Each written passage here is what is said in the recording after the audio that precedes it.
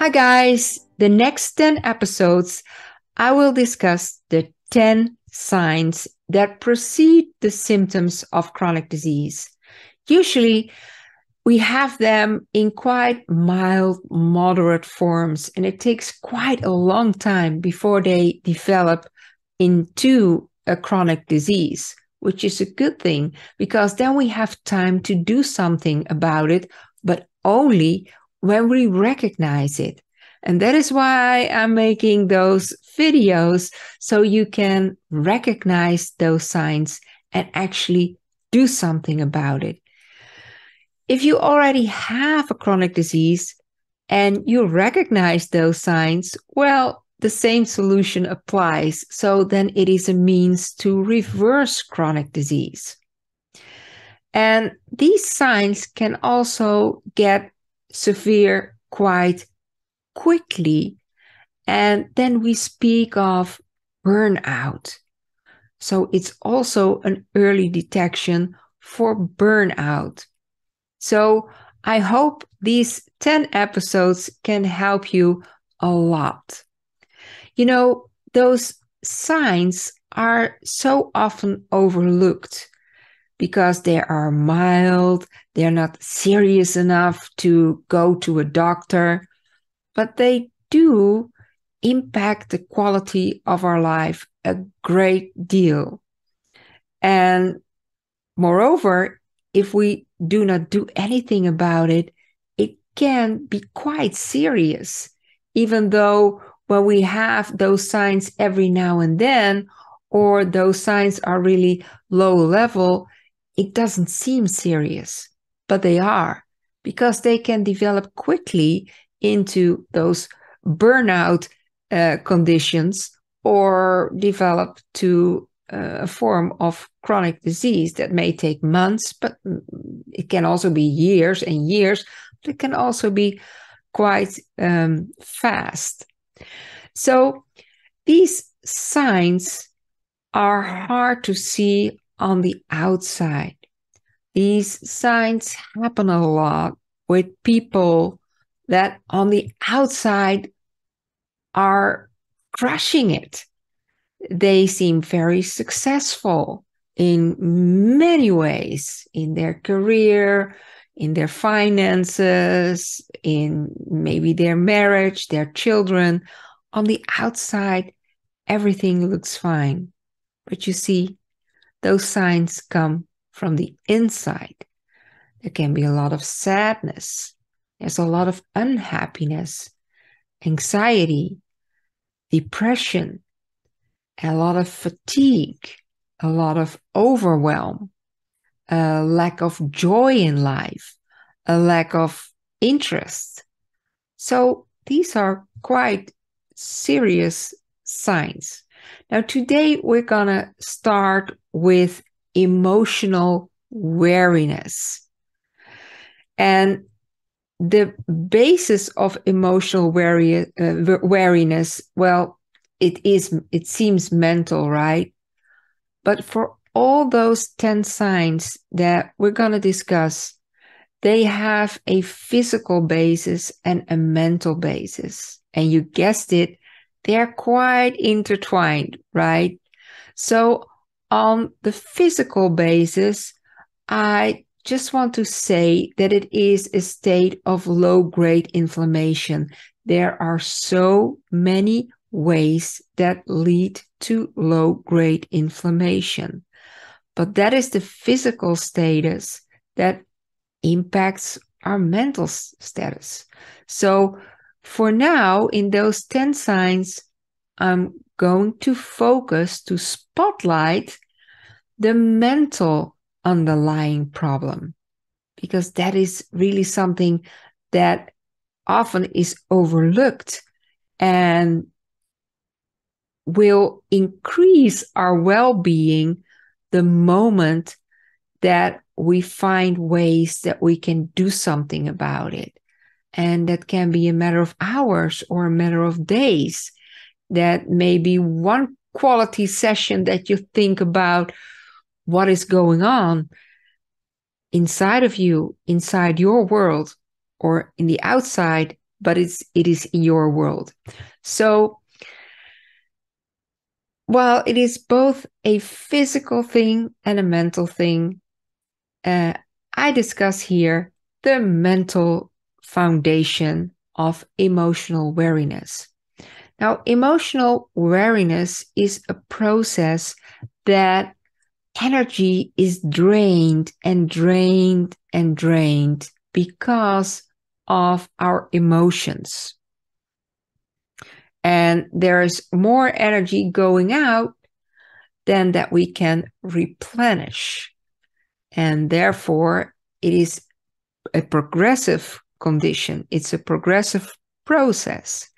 It is a process that you feel as oh maybe you hear you you you you hear in your in your mind your own words your own self talk or maybe you hear hear it while you're saying it to other people. I'm sick and tired of whatever. I'm sick and tired of. That is typical a phrase that you would use when you have an emotional wariness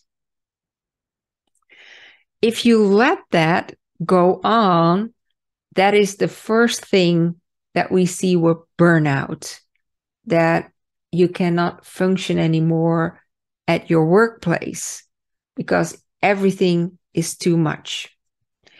Now, what is emotional wariness in those subsigns? It is a negative mood, a negative emotion, a negative outlook on from what perspective you look at it, it is a form of pessimism. And sometimes negative reactions that can be so strong that other people are harmed by it because we let those negative emotions out and project it to towards other people. Now, sometimes at the workplace, we can cover up, you see, but at home, often our partner or children, they get the full load um, because you just overload. It's too much to keep inside, and you have to let it out. And what do you do? You let it out in a safe place with your spouse or your children or the people that you really care for. Also, anxious thoughts, maybe even depression, when you ruminate about the past or worry about the future. So, everyone has those signs every now and then. The difference is if you can recover, if you have the resilience that when those moments happen, that you can come to your senses and think, oh, hey, maybe I have this negative mood, but actually everything is okay. So it's a moment in time and you can bounce back from it. You can bounce back from negative emotions, from negative mood, from negative reactions, from anxious thoughts, from rumination, or your worry about the future. You can bounce back. If you can bounce back, you are resourceful in resilience. Uh, but if not, and you have those feelings on a continuous basis or really quite often, quite frequently, and you cannot bounce back, then that's emotional weariness. You're wearing out. You're sick and tired of everything. You do not have energy anymore to bounce back, right? So, what is the underlying problem? Actually, there are many underlying problems, but there are two main underlying problems. And the first one is that we lost the sense of safety and security in our life. When everything is an overwhelm, there's just too much going on, or emotions are too dynamic or too strong. then we get a sense of insecurity or unsafety. Now, there may be many factors, external factors, internal factors leading to personal insecurity and feelings of unsafety. It may be neuroinflammation, like I said, the low grade inflammation that changes the brain a bit because of the inflammation that really exacerbates anxious feelings or negative moods. It may also be that there are there's too much overwhelm and we we or there's something that makes us really insecure when we have a job loss or a divorce are external factors that can make us feel insecure and unsafe. And when we go in a downward spiral, that's also um, uh, a, a, a, process that we cannot bounce back from. If we cannot bounce back from, then we become emotional wary.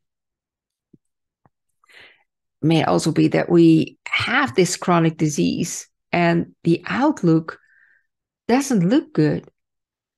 And when the outlook doesn't look good, well, it's quite obvious that we feel insecure about the future, that we feel unsafe in our own body. So that's also a way, a, a route towards emotional wariness. If this is you, it is really important to do something about it. To just take a moment and think, hey, this is me. I recognize this. This is not part of life like everyone has a struggle or the idea that life is a struggle in essence. No, no, these are signs these are real signs that we really have to do something about it because if we don't, it's a downward spiral. We really have to actively go up. Now, the good news is you can go up. Maybe you can do it by yourself, or maybe you need help. If you do need help, don't hesitate and go find that help. If you think you can do it on your own strength, by your own, well, think about how you can do that. First of all, that you want to do it. And secondly, how. We'll come to a couple of um, ways uh, later on, but now let me go to the second um, underlying problem of emotional wariness. And that is that we adapt too much to the tribes that we live in. Now, what do I mean with that? Well, we all have tribes. And I call them tribes because this is really an innate um, force that we have inside of us. And that force is that we want to belong to the group, to the tribe. Way long ago, we had to belong to a tribe to be safe.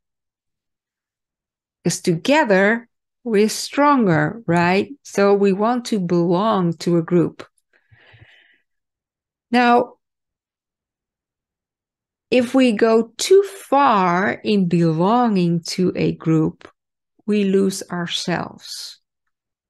Because when we are in a group, we want to be like the group, think like the group, act like the group, do like the group, please the group because that are ways to belong, that are ways to fit in. And we all have a couple of tribes our direct fam- family tribe with our spouse, our children, the bigger fam- family tribe with the in laws, and the larger family. We have the tribe of our friends, we have the tribe of, of the work. So when we go too far with complying to the rules, the written and the unwritten rules of the tribe, we lose ourselves. We get confused about who we are because we do things that we innately know is not us. We say things that maybe later on we think, did I really mean that? Do I really believe that? or we prioritize things that are in favor of others and not ourselves. We adapt our behavior. And bottom line, that's not who we are. So when we are losing ourselves, then everything becomes unsafe, which is really paradoxal because, well, we wanted to belong to be safe in the first place. And when you go too far in adapting to that tribe, it becomes unsafe because we are no longer who we really are. So, what is a solution for that? What can we do about that ourselves? Well, first and foremost, it is really knowing who we are and connecting to we who we really are. Now, when I say that to people, they a lot of people they they just go blank and say, "But I am who I'm who I truly am. I don't know any other." So, what's that thing about being our true self? Well, most of us most of the day are not really our true self because we have to adapt to this tribe, but we are just not aware of it. So it starts with self awareness. And then the big question is how do I know when I'm truly myself or when I'm that person who adapts to the tribe? Well, when you're calm and satisfied, you can be quite sure that that is who you really are.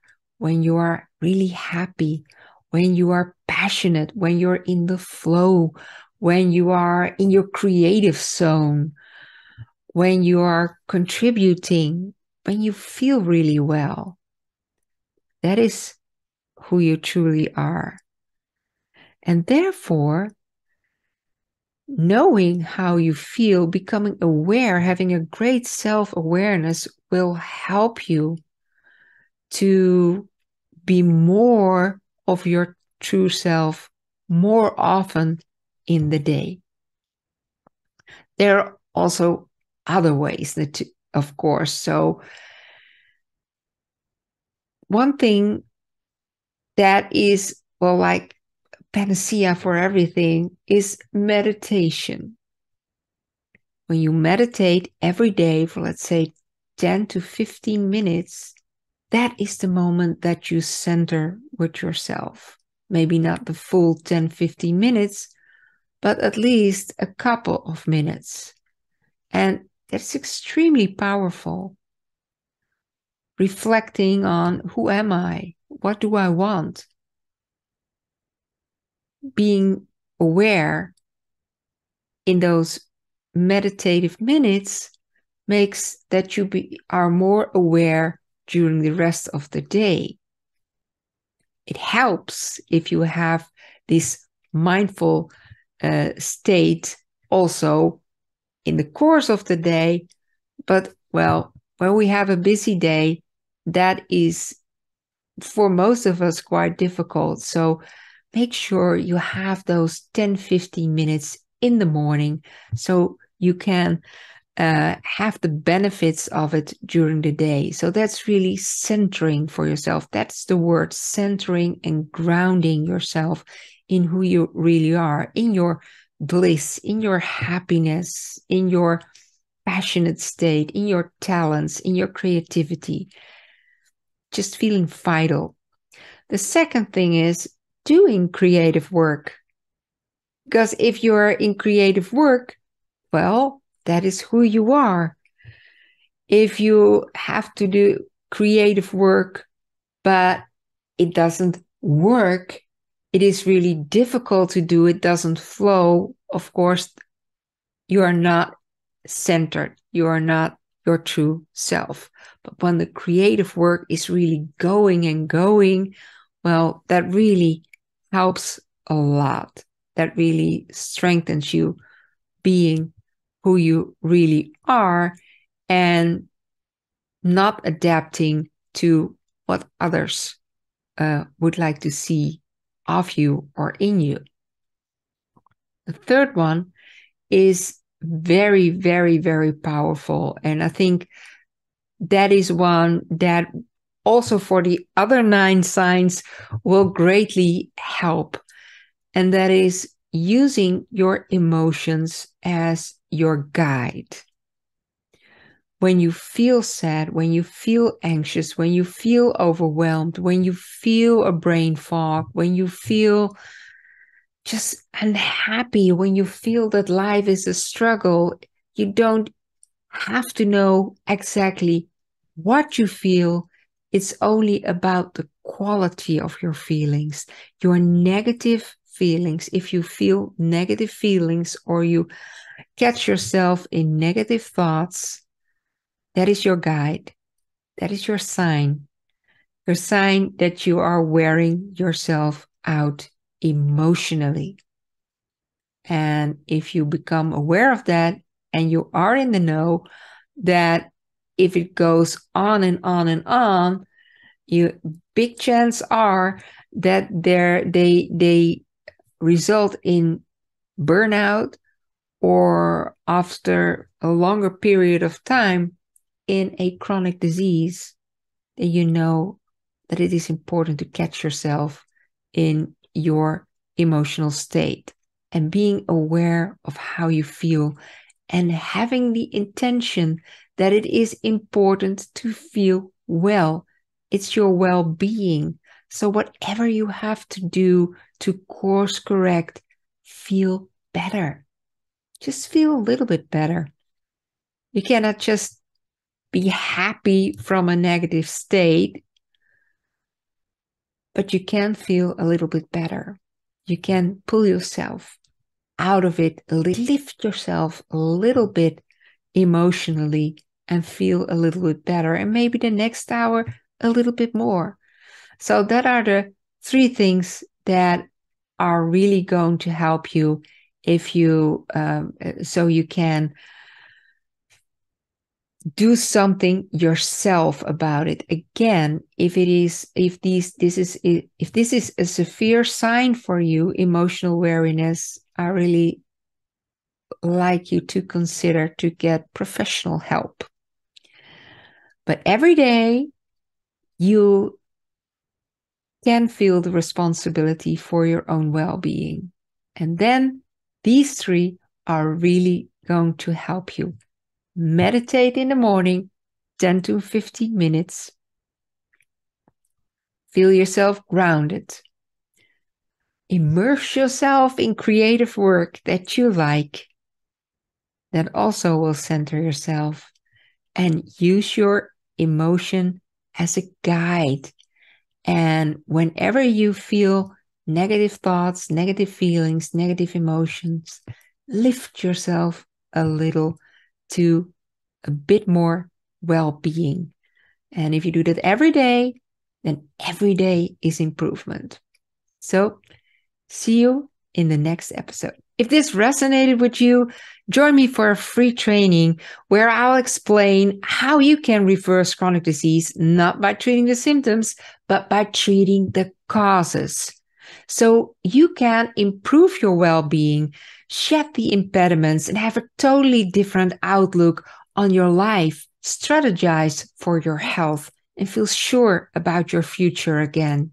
So if you're interested, check the link below and see you there.